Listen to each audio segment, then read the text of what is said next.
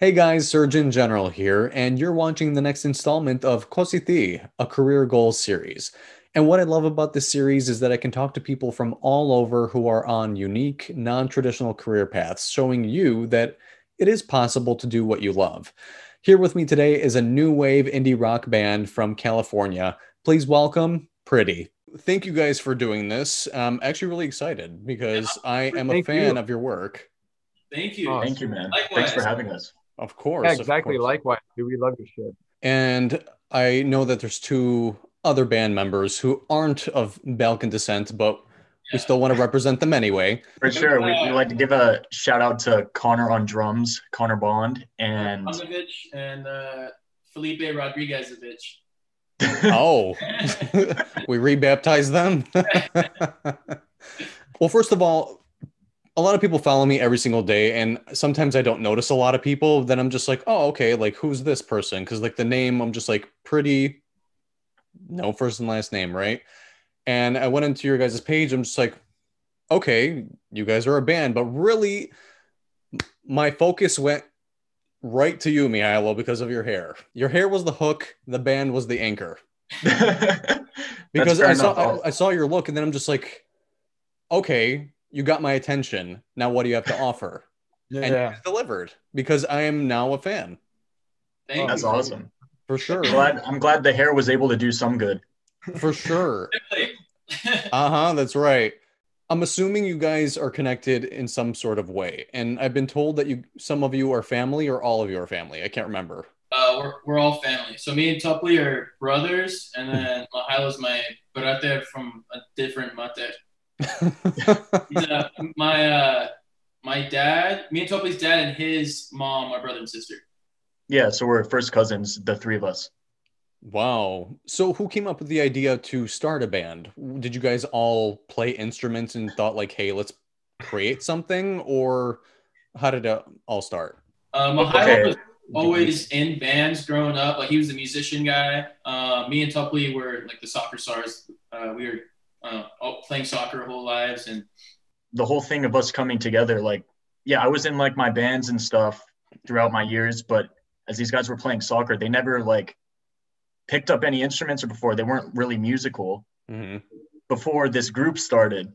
Like uh Milos did some Mil- Milos had some stuff going on. Like he was in a critically acclaimed rap group Oh, in high school. change of genre. I see. like I Yeah, was no, but- writing like uh, poems and, and and songs and stuff, but I didn't Mhm. play any musical instruments. So I was like, I'll just rap with like my friend because he makes beats. Nice. Like I don't have to do like I don't have to be responsible for the music. Just like give me a track and I'll like like rap over it. hmm Um, yeah, so I was doing that before. I mean, me and Topli always like we're really into music because of our Oh yeah, we're parents big stuff. music like nice. you know everything about music, all like all genres, like whatever it is. Um, but like we just never like I would always pick up guitar for a summer and get frustrated and put it down. Like it was just like a process of trying to learn the guitar. Same here. My dad's like, "Idi svira nešto." He got me a guitar, and I can only play it on one string, so he returned it. From this the moment that it happened for me is like we were all together in their like bedroom that they shared at the time, like a Mhm. couple years ago. And Milos had like a cracked version of Logic or something. And we were messing with like keyboard sounds, Topli was, and he came up with this little melody on the keyboards. I'm like, oh wait, that what's that? That's cool.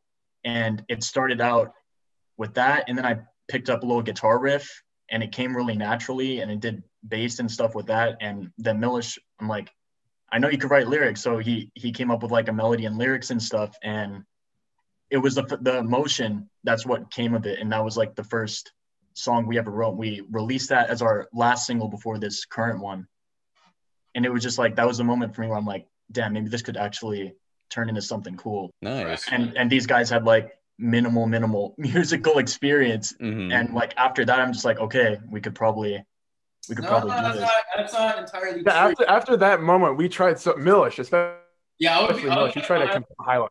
yeah, I was like, I was pissed because I was like, I was always trying to hit up Mihailo, like, yo, like, like come over, let's start, let's, let's start a band, let's start. You can use because he's using the using the band. Um, Oh yeah, I was in a band at the time. You're in the Volts, and I was like, like, dude, let's jam, let's do this. He's like, oh, okay, whatever. And like, he just never gave me the time of day. Um, which was annoying. It just pissed. I was like, bro, you're Gave you the hi hat. Like, what the heck? Like, you're gonna choose this guy? Mhm. You're have to show them you're you were serious. Yeah. yeah, that was the What, thing. what made you like take us seriously? I mean, I get it. Maybe it was maybe it was that song though that uh m- I don't know, maybe we just started doing it more and more, like getting together and trying to, you know, come up with stuff. It's like what's what's a better thing to be in a band with like your brothers though? Like these totally. yeah. they're yeah, that's how it is. So it worked out perfectly. when I first heard your music, I honestly thought it was refreshing because I'm obsessed with like the 80s and like the 90s because I've grown up in the 90s and stuff like that. And all this gar- like the music that's out there right now is really trash. So it was definitely refreshing to kind of transport to those eras and also hear different sounds that you don't necessarily hear every day. Like it was so weird. This past weekend, I went to the mall and subconsciously I was singing "Take It Easy" to myself. Oh, Damn. Oh, I, I and I didn't notice until I came home. I'm like, if Hey, I if I can't get that's out of my head, then you guys got something, right? oh, there you go. that's awesome. Who are some of your creative influences or favorite bands, artists, like, and did they sort of morph like your music into what it is today? Uh, lyrically, like my influence are like Thom Yorke and Lou Reed and Alex Turner, hmm um, like those kind of people. But that's like you can tell like that's not the type of music that we really make. hmm But like Tekashi music, six nine. Yeah, Tekashi. no, not Tekashi. Leave him out of this. uh, like musically, like '80s, like like like yourself, like Mhm. like The Cure, uh, The Smiths, New Mhm. Order, INXS, uh, The Clash is my favorite band, like Radiohead. So like I, we don't really make that kind of music. Or, I mean, the '80s music, we kind of try to make that kind of stuff in like 2021. Oh, total. That's why I thought it was refreshing because we had s- like fucking WAP, okay, Yeah. like shit like that. And there's not a lot of bands like this out now. You know, No. like what Maroon Five, if you can even compare them. to Yeah. the they're sound. like they're they're old too. Like they're from like the 2000s. No one's doing Yeah, true. like everyone's making like bedroom pop, like Clairo and uh, I don't know, like the the rest. Like it's very minimalistic. Like I don't know, Mhm. like no one's There's doing no there's no big like stadium type bands anymore. I haven't heard this type of music probably in at least 15 years. That's I'm just like, okay, I can dig this. It's refreshing. You stood out Thank a you. lot. Thanks, in man. the in a positive way. You guys have a new single out called "In a Place." The Bends. I love the sound. Like I said, I'm a huge retro fan. I was trying to figure out what the bends really meant because when a girl gives you the bends, to me, it's like the, she kicks you in the balls and you're like healing over, like bending Uh, over. Uh, the bends is uh, when you're nauseous from being underwater. Like so, like scuba divers uh, get the Uh-huh. bends. Uh, like uh, when they go scuba diving, like typically. So like I don't know. I guess kind of metaphor for like I don't know, drowning. Like but being sick. Like you're currently drowning and you're getting like sick from it. Gotcha, gotcha. Well, I just wanted to clarify that, especially for other people who were going to be listening to it who haven't yet. Yeah. And they might have the same question too, because the bends to one person might not be the bends to another. So I just You're wanted to clarify that for everybody. Everyone's like, that's the first question. Like, yo, what's the bends? What's the, like? I guess it's not an, uh, an American term. Like, uh, it's an it's an English term uh, from like England, like an English term. Yeah.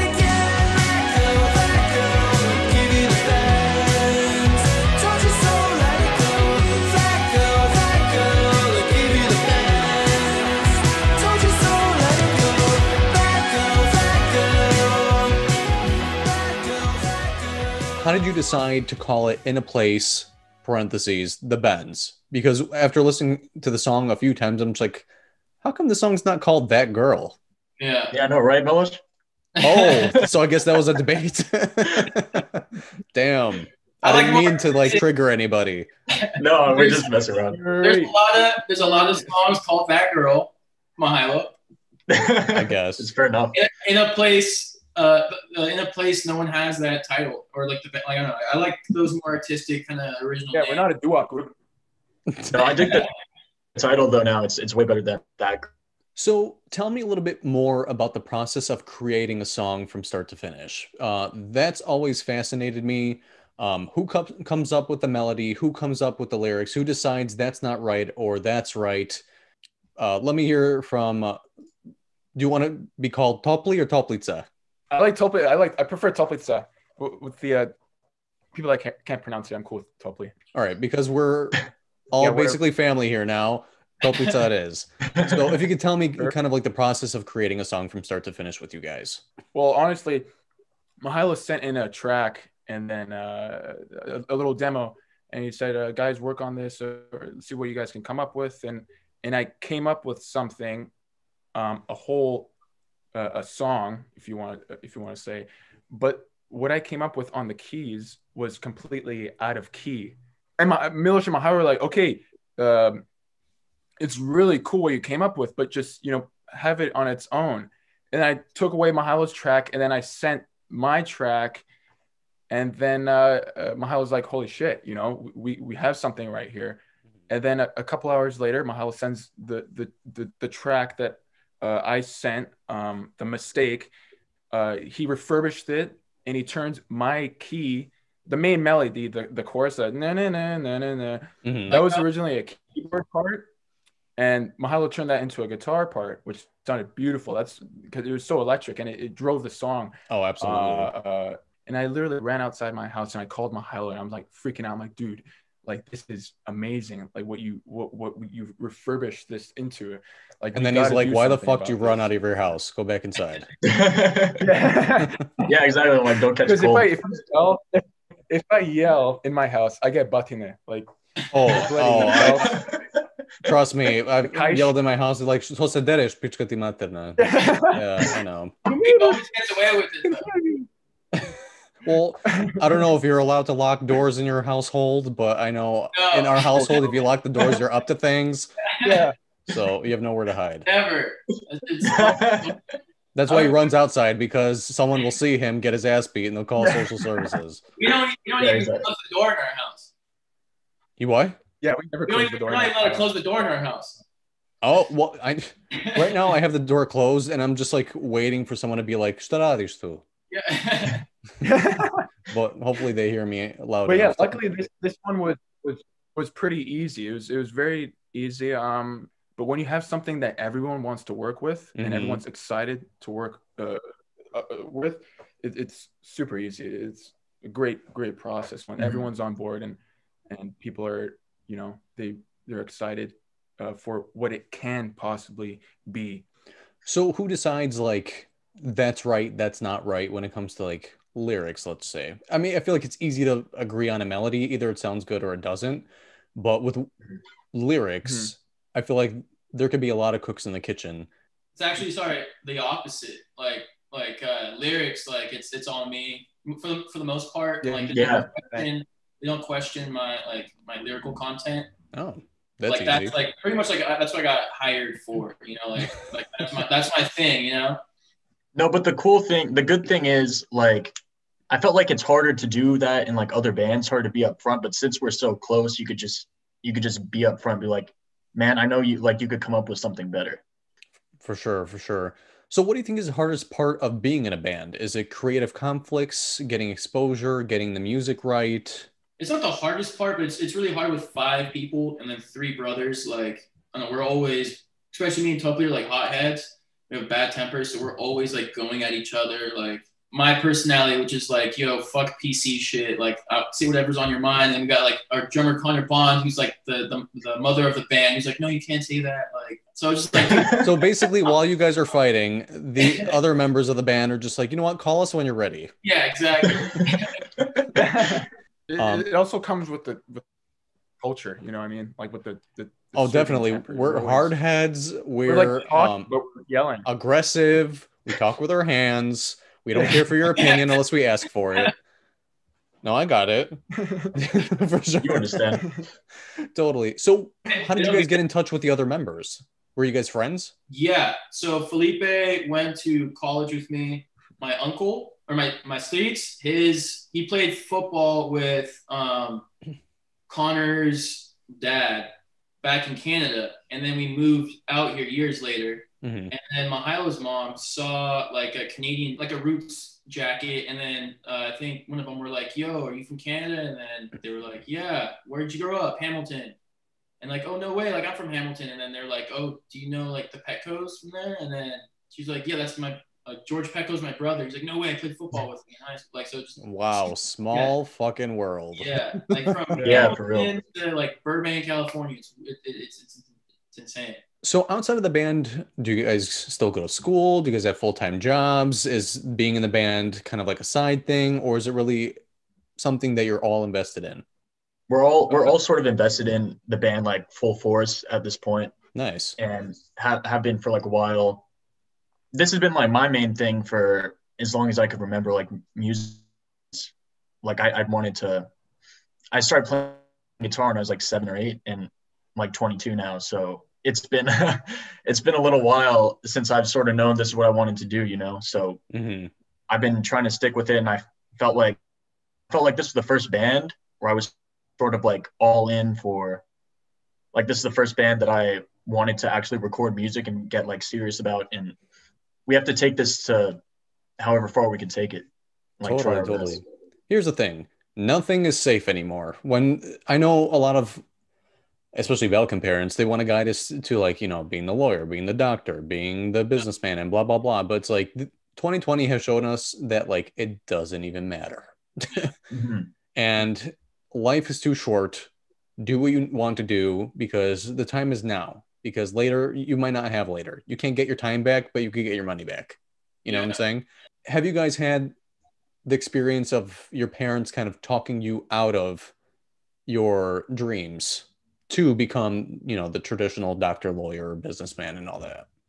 Not like Not talking really. about but like my I'm always getting pressed about like especially from like my dada and Bubba and like my mom too or like my, my dad like just like oh uh, when you went to law school like like they like th- their goal is or like in life was for me to be like a lawyer like Yeah. since, like because I, I I talk and uh, whatever like I had like smart ass answers for everything always just like, yo, like start going to law school, this and that. But uh, they're always like been super supportive, supportive of like our like creative endeavors, and like I think now that they know that we're, we're like making some noise with it, and like uh, they like they follow us. That's Yeah, amazing. it's like our parents are artistic as well. Like my dad, my dad was in a band back in the day. Like my mom's a writer. Their dad's an actor. oh wow. Yeah, so, So you just have like, that creative bone, and I- I guess it's just like the security though of like, yo, like.